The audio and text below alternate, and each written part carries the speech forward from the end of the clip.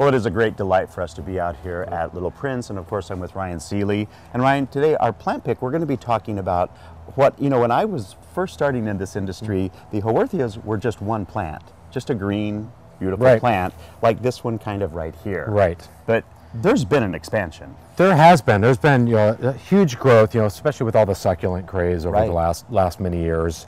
Um, Haworthias, which are all of these little guys, are all all a Haworthia, have all kind of you know, they've been bred and changed, and more new ones that have been found all the time. That Right. they're all starting to look. They used to look kind of the same, and now they're getting some really cool markings and Certainly, even in this selection right here, there are some obvious differences. There are. So what you know started out as you used to get a lot of them with the just the kind of the stripings on the on the different bands. Uh-huh. You're getting them now with you know the different spotting on the leaves, or getting some you know even look like this one that looks like you know crocodile skin, or And just even some color variation. There is right. on. This is going from kind of the burgundies to the greens. You get the dark greens.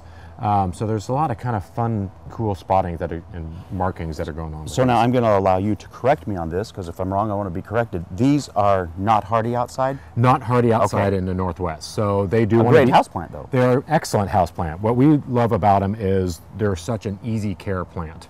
Um, so they're not wilting down and drying out super super quickly. So they're very resilient. So Right, we've had right. some of these just sitting in a windowsill where forgot to water it for a month or two. And it was fine. They'd kind of dry out, soak them up, and they. they And then if you see right that happening, you go, "Oh, I haven't watered this in a while." They're awfully forgiving as well, though. Once they get They water. do, and so they, they will rehydrate themselves and, and kind of come back up out of that. So show me a couple of ideas of what we can right, do. so you know, so we've done these, you know, these little uh, polar bear and, and little little elephant planters. Yeah. These work great in here because a lot of times you have these small little pockets where you don't have a lot of room True. for growth. So even though they have a lot of root system on it, they're not growing very fast, so they stay very compact, and they're not requiring a lot of the water. So they are excellent choices in here for going inside the house, Right. For sitting on a desk in a windowsill, places like that. and then what about sun? Do they want Sun, sun? like they do, they do like the they do like the Okay. sunshine. So I would not put them in a deep dark closet or bathroom or something like that. So they do want a kind of a bright window or a bright sunnier spot. Nice. Um, we'll get Well, a then better I color. notice on this one too, Ryan, that this looks like it's pupping. Is that how they will expand? It does. So that's kind of how they do a lot of the divisions on them. So as they grow and get older, they will start sending out these little pups, kind of like your your hens and chicks. Right. So we have the Right, big one in yeah. the center.